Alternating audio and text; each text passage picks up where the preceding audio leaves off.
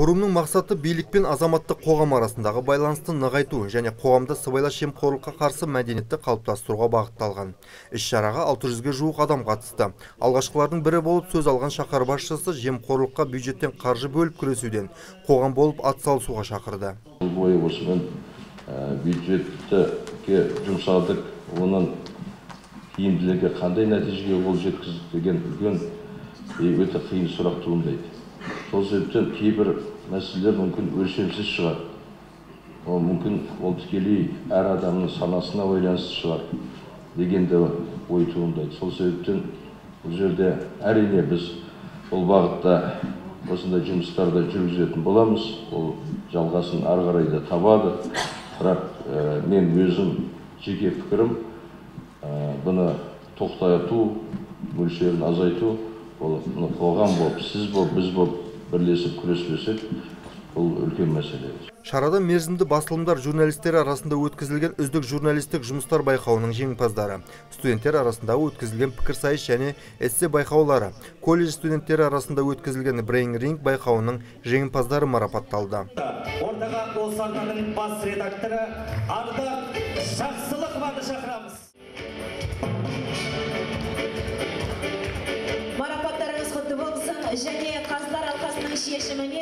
Қоғамда сыбайлас жемқорлыққа қарсы мәдениетті қалыптастыру тақырыбында түсірілген үздік бейнеролик авторлары айқындалып бірінші орынды отырар телекомпаниясының журналисті шудин саидов жеңіп алды. Мы не для наград делаем наши материалы работаем не для наград.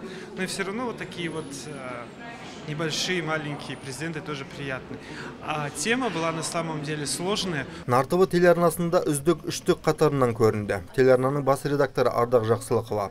Сыбайлас жемқорлықпен күресті өзімізден бастау керек және журналистте пара алмау керек дейді. сыбайлас жемқорлыққа қарсы мәдениетті қалыптастыру тақырыбында конкурс жарияланғаны біз қатысуды жөн санадық нәтижесі осы үшінші орын дегенмен бұл телеарнаның жеңісі деп ойлаймын алдағы уақытта талай белестерді бағындырамыз. Ең бастысы азаматтық позициямыз сыбайлас жемқорлыққа жол бермеу.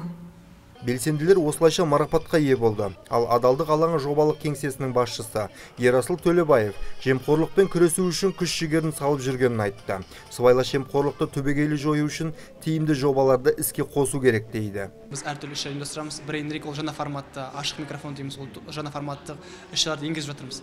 Жастарды қызықтырып жастармен осылай алтын көпір соғып жатырмыз. Біздің жастар білесіздер өте белсенді. Олар біздің жоспарларымызды өте жақсы қабылдап бізбен бірге жұмыс істеп жатыр. Сол мен ойымша сол солармен біз жақсылап жұмыс істеу керекпіз.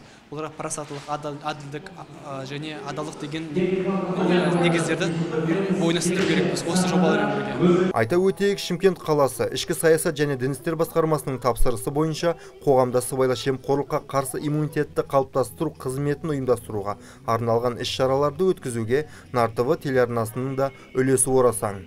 Жиын соңы концерттік бағдарламаға ұласты. Нұрлан пайызов нұрболат әмір нұрлан бексаитов нар ньюс.